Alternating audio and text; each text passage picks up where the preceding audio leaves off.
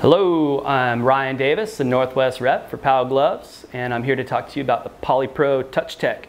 It's smartphone compatible, so you can check your emails on the fly, uh, you check your social media. It's got uh, a Velcro heater pocket side, moisture wicking stretch fabric, and it has GripTech print. Uh, these are great for cooling down or warming up uh, if you need to. If you have a light glove liner and you get cold during touring, you can add this to the mix, pull it out of your backpack, and warm up. And as you warm up, pull it back out, uh, do your deal, get your tour done. And uh, as you're heading back home and things are cooling off, uh, throw it back in your glove. Keep you nice and warm. Kind of gives you, uh, you know, an all-in-one uh, glove opportunity. Beyond that, check out powgloves.com for more information.